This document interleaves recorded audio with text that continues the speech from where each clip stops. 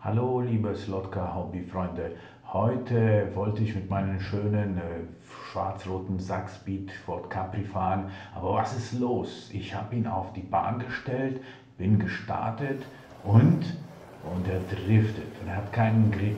Was ist passiert? Ja, das sind natürlich die Reifen. Viele von euch fragen sich dann natürlich, was kann ich machen, damit das nicht so schrecklich fährt wie hier. Was kann ich mit den Reifen machen? Das, damit werden wir uns heute kurz sehr schnell befinden.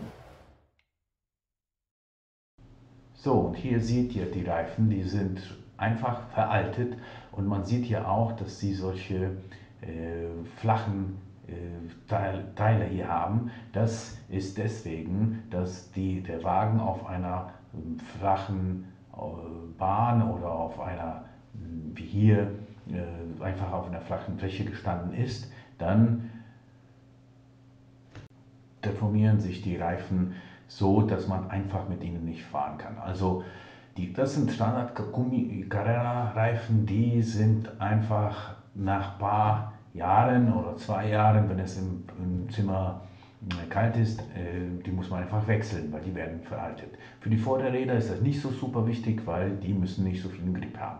Was können wir jetzt damit machen? Also hier so ein kleiner äh, Tipp, äh, man kann einfach einen, so einen Gummi oder Schaum-Isolierungsmatte nehmen, die einfach im Baumarkt zu kaufen ist. Die könnt ihr auch für die Fensterisolierung so, ein, so ein Gummi nehmen und einfach auf eure, da wo ihr die Auto, äh, Autos äh, behält, äh, könnt ihr die aufkleben und es geht einfach darum, dass die hinteren Reifen in der Luft schweben. Das Problem ist natürlich mit dem Vorderreifen viel einfacher, weil die, da haben wir den Leitkiel und die sind nicht an der Fläche, die kontaktieren nicht die Fläche. So, das ist sehr einfache Sache. Das hilft uns natürlich nicht mit den Gummireifen, mit der Verälterungsprozess.